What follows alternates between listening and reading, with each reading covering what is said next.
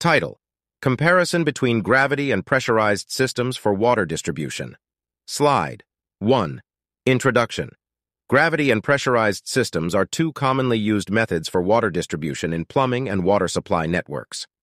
In this presentation, we will compare and contrast gravity systems and pressurized systems, examining their principles, components, and advantages. Slide 2. Gravity system. A gravity system relies on the natural force of gravity to distribute water. It utilizes a higher elevation water source, such as a reservoir or water tower, to create pressure and allow water to flow to lower-lying areas. Gravity systems are commonly used in rural areas, where the topography facilitates the distribution of water by gravity. Slide 3. Pressurized System a pressurized system uses mechanical devices, such as pumps or pressure tanks, to generate and maintain water pressure. Water is pumped into the distribution network under pressure, allowing it to reach all areas of the system. Pressurized systems are prevalent in urban areas, buildings, and complex water supply networks. Slide 4. Principle of Operation. Gravity System. Water flows downhill due to gravitational force, utilizing the potential energy of the higher elevation source. The height difference between the source and the distribution points determines the pressure and flow rate. Pressurized system. Water is pumped into the distribution network, creating pressure that forces water to flow through the pipes.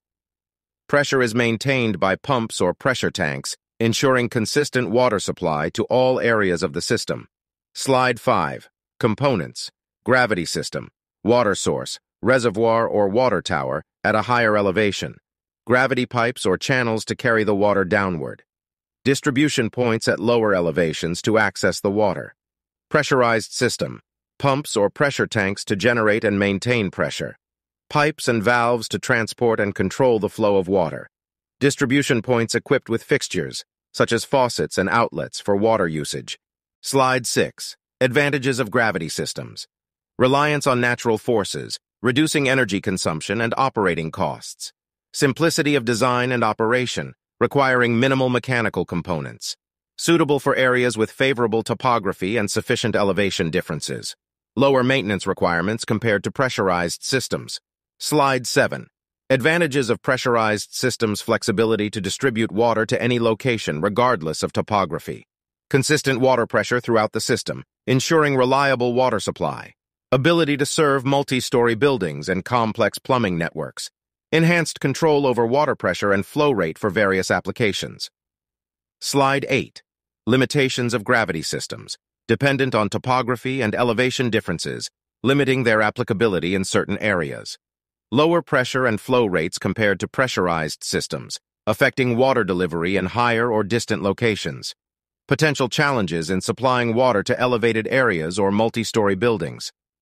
Slide 9. Limitations of pressurized systems. Higher energy consumption due to the need for pumps or pressure tanks. Increased complexity in design, installation, and maintenance. Susceptibility to pump failures or power outages, leading to disruptions in water supply. Slide 10. Conclusion Gravity systems and pressurized systems offer distinct advantages and considerations for water distribution. Gravity systems are cost-effective, energy-efficient, and suitable for areas with suitable topography.